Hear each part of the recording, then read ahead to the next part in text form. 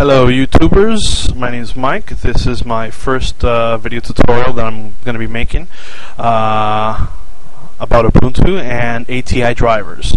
Now basically what I'm going to show you is the correct and proper way of installing ATI drivers to your Ubuntu installation for your specific uh, you know build, whichever it may be, Maverick Meerkat or Natty Narwhal.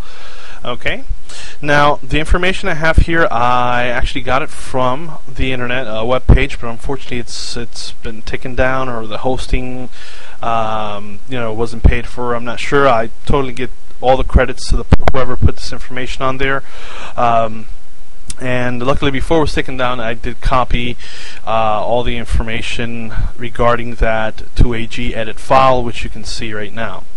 Now, basically, what I'm what this is going to show you is I know that you install ATI drivers in Ubuntu when you click on administration and you go to additional drivers all you have to do is click activate and Ubuntu will automatically pull from the reposit from the Ubuntu repositories the driver and catalyst control center uh, for ATI.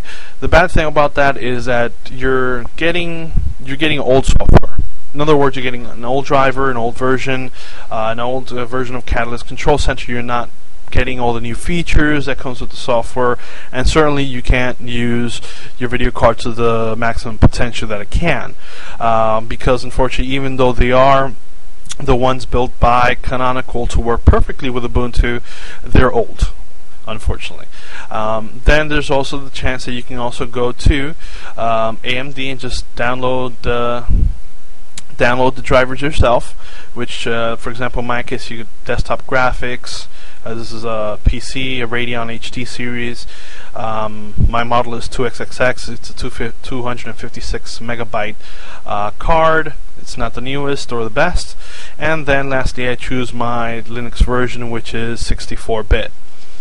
Now, I can go ahead and download this file, and it's a dot .run file it's uh, I have it right here. It's a dot .run file, and it's version 11-6 or 11.6. Now, you can install that in terminal uh, by typing uh, dot forward slash and then the file name and it'll install your base driver for ATI so they can you know work with Xorg and and your in your X11 system and it'll install the at ATI Catalyst control system. But it's not going to fully integrate into the system, and you definitely will not get the best benefits from your video card. Now, to start this, basically, like I said before, I'm going to post this file up. It's going to be a 4share.com uh, link on the, on the description, so you can download it and do this yourself. I'm not going to do it here right now because I've already done this. Uh, I'm not going to go through that again, but you can go ahead and do it yourself. This works perfectly. Now, the first thing you'll need is you're going to have to go ahead and uh, enable the restricted repositories. In other words, you have to go to the uh, Ubuntu Software Center. Uh, you're going to click on Edit and Preferences, and then you're going to navigate to other software. And then here you'll find Canonical Partners. You need to you need to enable that. Check the box. Uh, you will also need to enable Canonical Partners source code. You need to check that and enable it as well. Uh, that's needed so that your Ubuntu, your Ubuntu operating system can go ahead and build the driver for your specific Ubuntu version that you have installed on your PC from scratch because this is building it from source basically. Then once you have that then you will be go ahead you uh, either type or copy paste this uh, these this command or this uh, script here basically it's to install uh, build essentials and dependencies that Ubuntu will need to go ahead and create the the ATI driver from scratch. Okay, so once that's installed, we're going to go ahead and in your home folder, preferably, uh, you're going to go ahead and make this folder. You're going to either do in terminal mkdir and catalyst slash 11.3, but you use the version of the ATI driver that you downloaded, whether it's 11.6 or or beyond. For example, here's mine. This is my home folder, Catalyst, and then 11.6, and here is my ATI driver that I downloaded, uh, the .run file. Okay, so once we have that folder created, you're going to navigate to it using the cd command or exactly using the cd command in terminal. Then download the actual driver from the ATI website. You can either do this in terminal using the uh, wget command, and then this is the server. That does not change, that will always be the same. And then just remember that if you do it in the command, you need to change this version number instead of 11-3 you need to change that to the current version number uh, which is I think 11 11 11-6 um, and if not you can like I said you can always just go ahead and download it through your uh, Explorer uh, Firefox or Chrome and download it to that folder once that's done you're gonna go ahead and give that file the necessary permissions for Ubuntu to do its thing uh, using the chmod space plus X command.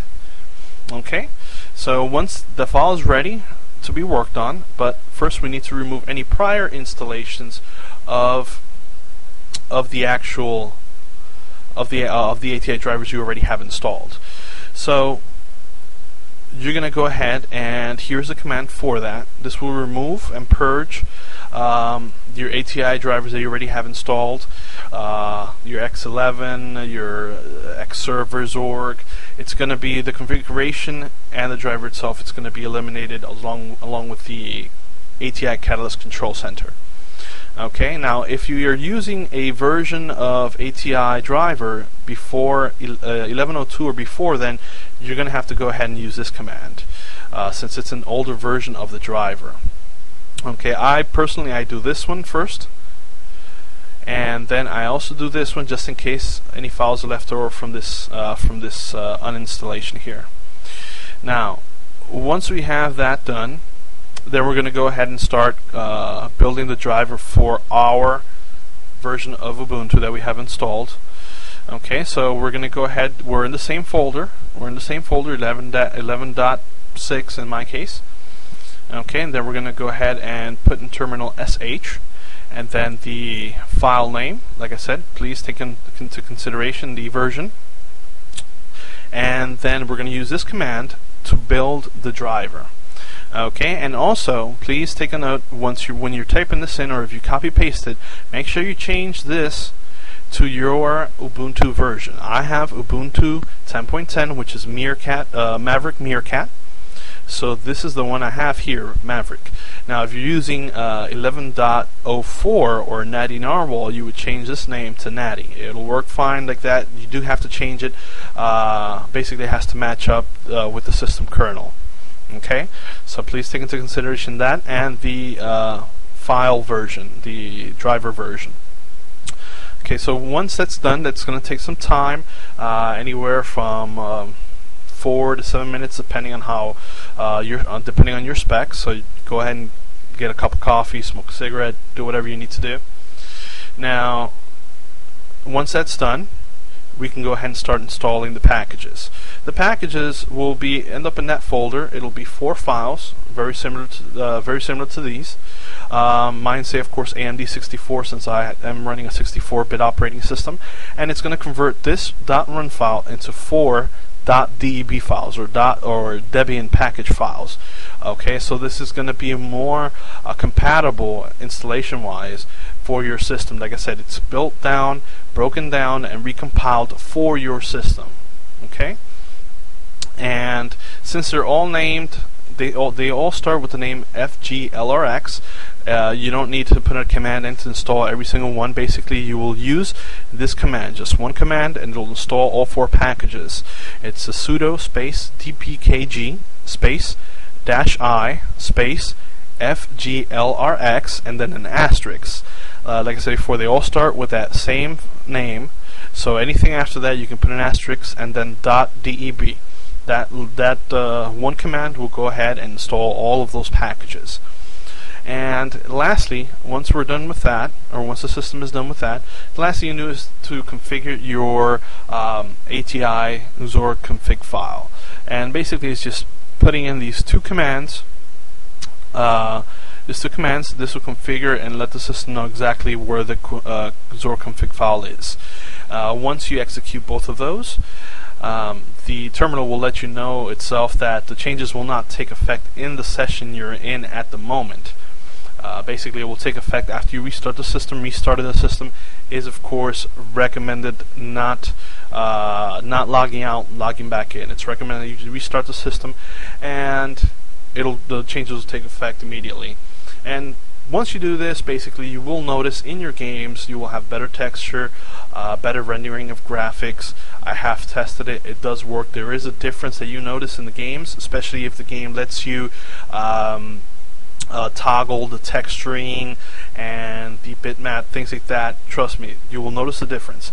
And once you have the ATI Catalyst Control Center, the last thing and the best option that this has, since it's the newest driver, and and it started, uh, this uh, ATI started including this with 11.6, is the thing that most people complain about with their uh, video driver, whether it be ATI or NVIDIA, um, which is a tiering in videos and in games. Uh, a lot of people I've seen in a lot of forums they have that question: how do they eliminate the tiering and uh, you know things like that? And there's been a lot of answers, and yet a lot of people really just it doesn't happen for them. Now, at ATI included this new option called Tier Free, which all you have to do once installed is click on Enable, apply and OK. The changes will take effect almost instantly, and as soon as you can, you will notice that the graphics will improve 100%. In other words, there won't be any more tiering. Um, you can do this with your uh, your desktop. There's no tearing here on the edges of the screen. Your video will not tear anymore. Your games won't do that either. And that's the best option that the newest drivers have. That's the best about having the newest drivers installed correctly. Okay, and one more thing. This is for ATI. Um, I don't know if it'll work for NVIDIA. I'm not sure uh, how they what their file type is, the drivers for NVIDIA, but you can use this if you're an advanced user in Linux. You can use this as a basis to do the same thing for maybe NVIDIA drivers, and this will work on all Ubuntu versions, whether it's Ubuntu, Edubuntu, Kubuntu. It will work perfectly. I have tested it with all those systems. Uh, what I haven't tested it is with, for example, Linux Mint or Fedora, uh, other Linux distributions. Uh, I can't speak for that, although if they are Debian based or Ubuntu based systems, it there's most likely that it will work fine since they they uh, they uh, have the .deb installer as well, the .debian package installers. That's their default install file. So it will work perfectly with uh, Debian-based systems or Ubuntu. It's just other Linux distributions I'm not sure of because I have not tested it. Okay guys, well this is my first tutorial. Please go easy on the comments and please leave comments. This video will be uploaded to Ubuntu Help Guys channel um, so that more people can go ahead and take advantage of this uh, little tutorial. Thank you.